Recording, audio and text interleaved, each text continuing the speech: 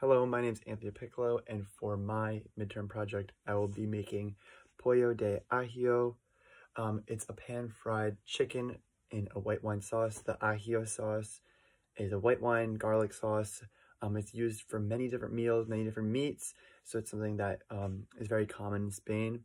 It's from the Andalusia region, which is in southern Spain, which is very close to where Valencia is. So that's why one of the reasons why I um, chose it. I wanted to find something that was very close to my region.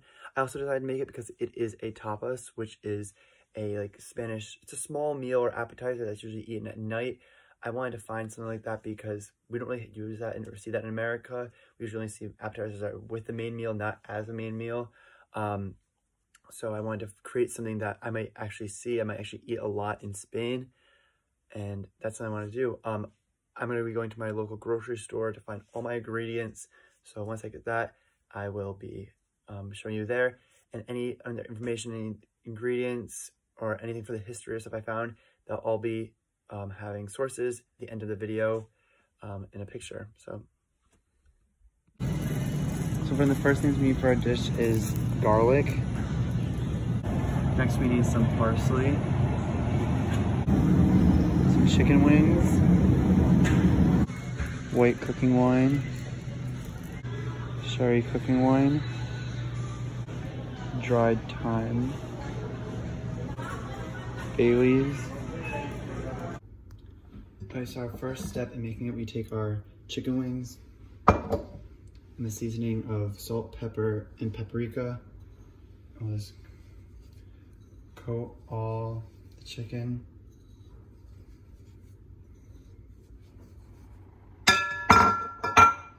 See, as you see right here.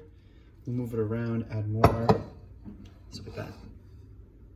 Here's what we have after coated chicken. Our next steps is taking our garlic,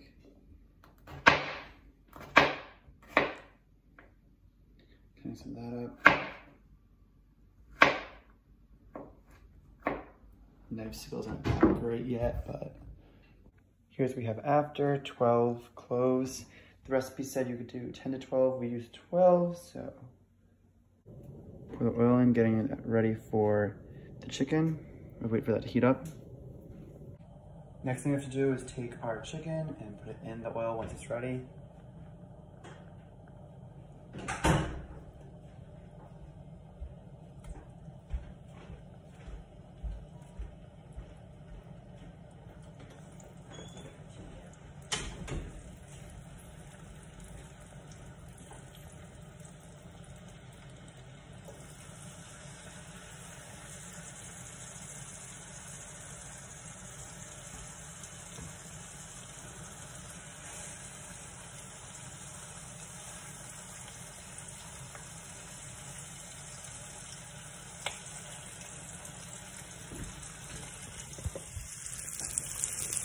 Here we have like so. And then we're just gonna wait till that turns golden brown. More of our chicken, we're just gonna leave that in, move them around. Make sure it's turning golden brown. Now that they're nice golden brown, we add the sherry wine, bay Bailey, and garlic. Okay, so now, garlic,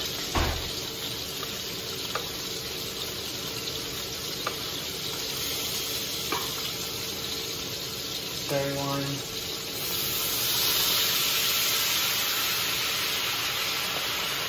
Our bay leaf. And we're just gonna let that sit some more, like that. Now that everything's in, to just sit and wait. We're gonna wait till the chicken's cooked and almost all the liquid's evaporated. It says about 20 minutes, so let's see how long it takes. A little bit of extra seasoning, um, some thyme. Still waiting, it's been about 10, 15 minutes, hopefully a few more minutes left and we'll be all good. Here's the finished product. We took it out, plated, and put some chopped parsley on. We're gonna try it now and, and be back with how it tastes.